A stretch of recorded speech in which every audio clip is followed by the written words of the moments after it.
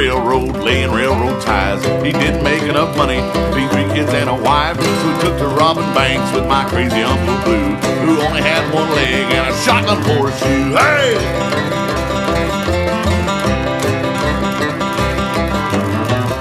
Old Blue was a drunkard with an old pirate soul. He loved to rob and pillage for riches and gold. My daddy was a good man, only doing what he had to do. So it takes, hell, I'd rob you too. I'm robbing you, yeah, I'm robbing you.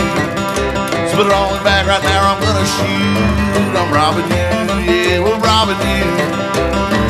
All right, folks, this is a real house stick-up. We need money for gas, so empty your pockets and put it all in this here bag, or the Reverend over there is gonna have to shoot your ass. Cause we're robbing you, yeah, we're robbing you. Put it all in the bag right now, we're gonna shoot. We're robbing you, yeah, we're robbing you. Just like my daddy and Uncle Blue. I'll shoot you in the toe, I'll do it.